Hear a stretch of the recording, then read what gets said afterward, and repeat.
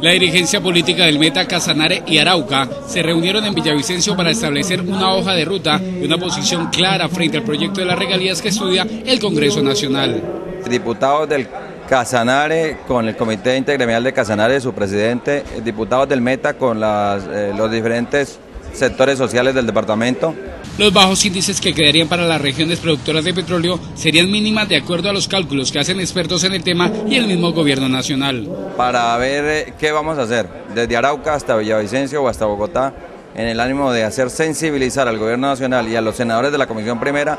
que eh, la gente del Meta y esta región no puede estar contenta y no puede estar conforme y rechazamos ese acto legislativo número 013 que pretende quitar las regalías a, a esta región. La lucha continuará desde los diferentes sectores sociales que se ven afectados con el recorte de los recursos provenientes de las regalías en los llanos orientales.